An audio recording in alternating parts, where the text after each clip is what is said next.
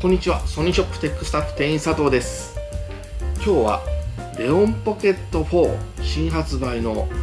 キルクーラー。もうキルクーラーじゃないですね。キルオートエアコン。こちらの紹介をしたいと思います。えー、早速先週木曜日にプレスリリースがあって発売になってそして、えー、っともう出荷がスタートしているんですけどもすごい売れ行きです、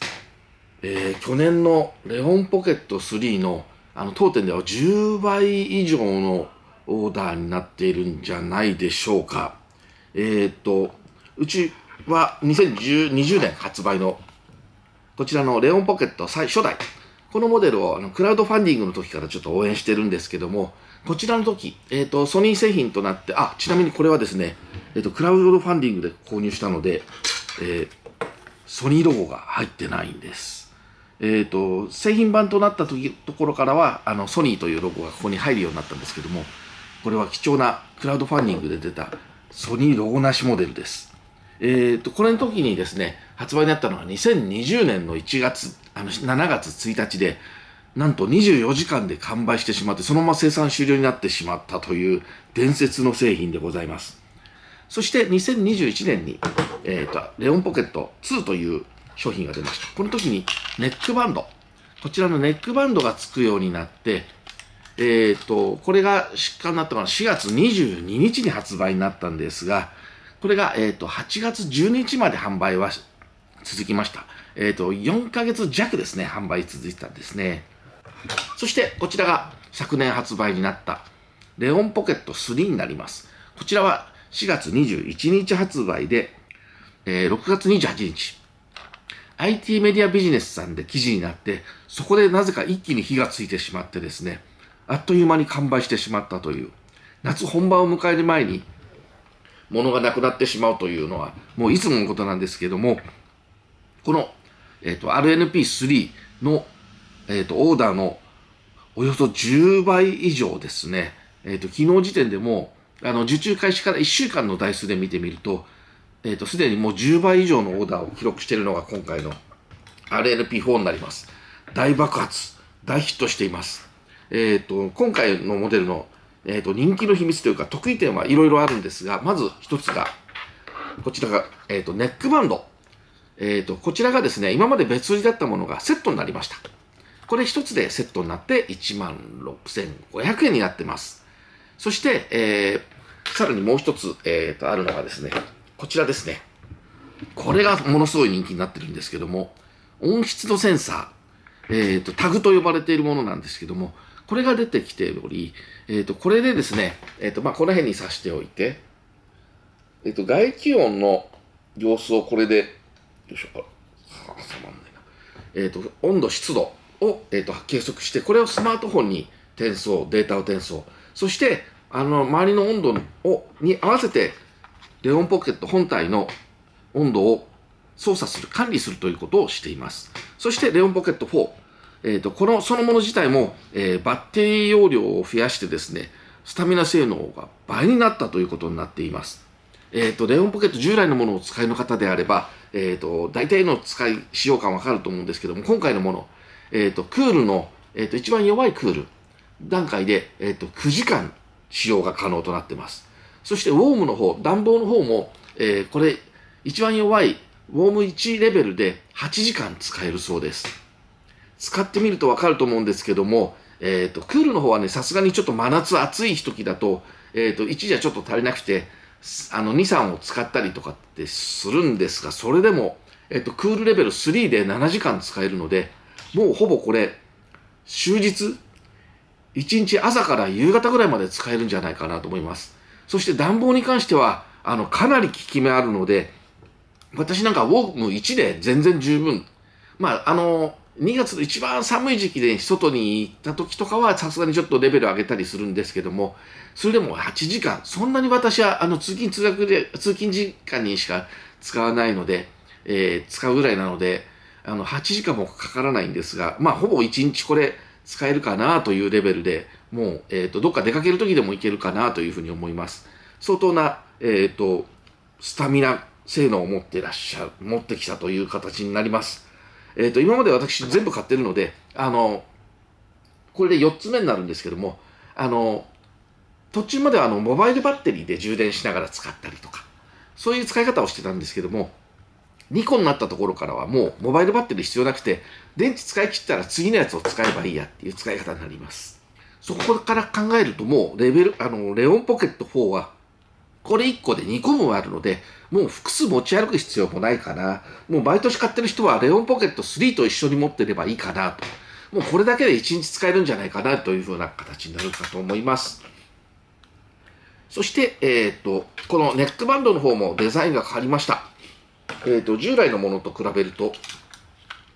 まあ見た目は一緒になるんですけども、えっ、ー、と、こちらのプラスチックだったあの樹脂製のネックバンドの部分が3層になっててシリコンのカバーの中に2層のワイヤーと,、えーと、ワイヤーが入ってるのか。それで、えーと、自由に形をこうやって力をずっと加えると形を変えることができるようになりました。なのでこれであの自分の首にフィットするような形をじわーっとじっくり少しずつ作っていってあの最適な形にするようにのことができます。そして、えーと実はですね本体デザインも今回のレオンポケット4は大きく変わっています。えー、前回のレオンポケット3の時は分かりますかね？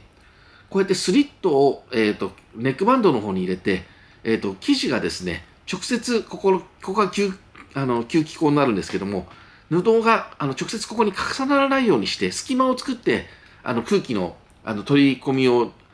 あの循環をうまく制御してたんですけども今回のモデルは形状が大きく変わっており、えーと本体にスリットをこうやってつけてもう布があの塞がないようなデザインになってます。なので、あのこうやって比較してみると、本体の厚みというか、ケース入れた時の厚みが随分薄くなってます。えっと、本体自体は3ミリかな、えっと、厚くなってるんですけども、このケースに使あの入れた時の使い方がって言えば、もう今今回のものの方がおそらく小型になってるんじゃないかなと思います。非常に工夫されてる。そしてここ、表面もツルツルだったものが、今回こうして、えっ、ー、と、ギザギザになってるというか、縦筋にこういうふうに入っているようになっています。えっ、ー、と、これ横筋じゃなくて縦筋っていうのに多分おそらく意味があるんじゃないかなと思うんですけども、えっ、ー、と、こうやって縦筋になってるんで、布があった時に、こういうふうなあの摩擦があった時に、えっ、ー、と、動かないのと、で、えっ、と、こっちは逆に、あの、擦れやすくなってると、動きやすくなってると思うんですけども、これが、あの、動きにくくなってると、だんだん、あの、この、ネックバンドじゃない時、あの、ウェアの方、インナー、専用インナーとかあの、インナーウェアを使ってる時とかに、すり上がってきてしまって、あの、ポトッと落ちてしまう、ポケットから上がってきて落ちてしまうことがあると思うんですけども、それを防ぐための、えっ、ー、と、スリットなのかなというふうに思います。おそらくもうこれが完成形なんじゃないかなというふうに毎年思うんですけども、なんか季節商品みたいになって4月になると発売されるというのを繰り返してますね。さて、今回なんですけども、そういった感じでもう売り上げが10倍以上あるので、おそらくもう、えっ、ー、と、まだ受注してるのがちょっと不思議なぐらいというか、ソニーストアさんで、えー、受注開始になって初日の分の、えーと、オーダーのされた方のところには、す、で、に発送されてるんですけども、その後の方のところには今全然発送がされておりません。えっ、と、本体のみ、このキットの方は、えっ、と、4月27日出荷目安というふうに案内今されているので、おそらく第二次入荷がこちらの本体のみの二次収荷っていうのが27日、明日なんですけどもあると思います。そこで出荷になるので、えっ、ー、と、今オーダーされている全数の1割ぐらいの方には届くと思うんですけども、こちらの、えっ、ー、と、センシングキットですね、えっ、ー、と、センサー付きのキット、タグ付きのキットの方に関しては、5月下旬出荷予定というふうに、えっ、と、もう、受注開始から1日でなってたので、そこから4日間ほとんどペース落ちずにどんどん今受注増えてます。えっ、と、もしかするとこれ、あのー、レオンポケット1の時みたいに、あの、もう予約っていうか、あの、受付をソニスターさんやめちゃうんじゃないかなという状況まで来てるんじゃないかなというふうに思います。えー、全体の総数とかがわからないんで、あれなんですけども、あの、情報筋の方に、なんでもっと作らないのかなっていうような話を聞いたところですね、あの、これでももう工場全開で回してると。作れるだけ作っててこんな状況になってるんだよというふうな話を聞いてます。なので、あの、需要と供給がマッチしてないというか、需要の方が大幅にこれ増えてるみたいですね。えー、なんとも、あの、一番暑い夏の時にこれを売っててくれると、あの、せいずしがいがあるんですけども、なかなかそういう風にならないのが愛しいんですが、まあ、迷ってらっしゃる方はちょっとお早めに買われた方がいいかなと思います。当店のブログでもですね、こちらの、あの、タグの方だけは、あの、アマゾンで、あの、当日出荷で販売をしていたので、えっ、ー、と、ご案内をしてたんですけど、そちらももう完売してしまったみたいなので、もうここからはソニーストアさんで、えっ、ー、と、オーダーして到着するのを、あの、もうじっくり待つ方がいいかなと思います。アマゾンさんはもう今プレミア価格になってすごい値段になっちゃってるので、えっ、ー、と、そちらでは買わない方がいいかなというふうに思います。えすいません。あの、たどたどしい話になってしまいましたけども、レオンポケット4の、あの、一応、先ほど届いたんで、あの、届いたものを書き込んしたところなんですけども、えー、速報レポートでした。あ、ちなみにですね、あの、レオンポケット3と、えっ、ー、と、タグを連携させることもできて、で、えっ、ー、と、メーカーの商品ページを見るとですね、レオンポケット3の場合は、あの、スマートフォームでしか使えないというふうになってて、えっ、と、クールウォームのえーと、自動切り替えをする機能はあのレオンポケット4でないと使えないですよというふうな案内になってましたけども実際に連携させてみたらレオンポケット3でもあのクールウォームの切り替えができるようになりました。で今日ちょっと雨が降って肌寒い日になっておりますが、えーと、電車の中は蒸し暑くてですね、えーと、自宅であのこれ装着をして出たら家を出た瞬間に、えーと、まず最初にウォームに切り替わってで、えー、と駅のホームでえー、待ってる間にあの気温上がってきてあの普通の休止状態になったのかな。そして電車の中入ったら、えーと、気温がですね26度ぐらいにまで上がった。そしたらあの今度はクールモードでちゃんと動いてくれました。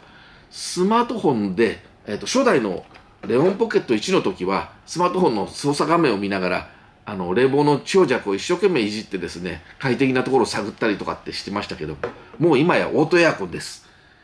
もうつけっぱなしでずっとそうやってあのこちらのセンサータグがあればあの外気温を監視してあの自動切り替えしてくれます。すごく便利です。もう着るエアコンではなくて着るオートエアコンです。えー、ぜひこちらでご検討いただいてみたらいかがでしょうか。レオンポケット3をお持ちの方も、こちらのタグだけでもオーダーしておくと、えー、便利に使えるんじゃないかなと思います。ぜひご検討ください。お早めに。